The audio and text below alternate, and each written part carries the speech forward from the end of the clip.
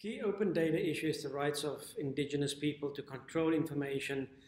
uh, and data about themselves and their lands individually and collectively.